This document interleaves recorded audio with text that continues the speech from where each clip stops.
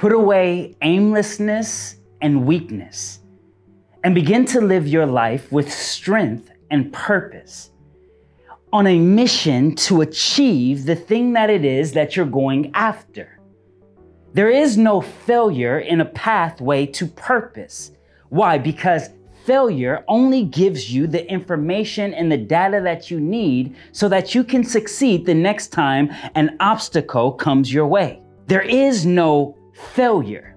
There's death. But then, if you do not accomplish your dreams and you do not accomplish the things that are stirring within you, then wouldn't you rather just be? See, if you're not living in purpose, then you're truly not living. Attempt fearlessly. If you fail or you receive a no, let it go. Let dead relationships go. It's okay if you were wrong. Just change the wording. You were wrong for a season so that you could get the wisdom so that you can achieve in the next season. It's only failure if you decide to stop.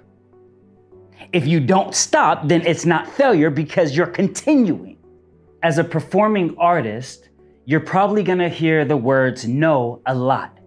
It could be no from a casting director that you weren't the right person for the role. But it could also be because you look too similar to the person that they're casting as the lead. So it may not even have anything to do with your actual audition or your actual skills.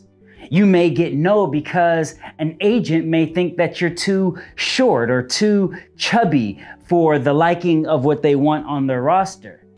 See, is that discrimination? Well, in the industry, it happens. So, regardless if it's discrimination or not, it's something that you're going to have to come up against. And what one agency may not like you because they think that you're too short, but then another agency thinks that you're too tall.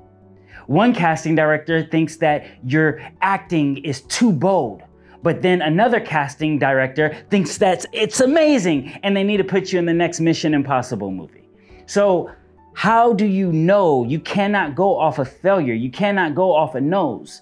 You can only take in the information that's received and then continue to use that for the next audition, for the next role. And then once you do that role, guess what? You start all over.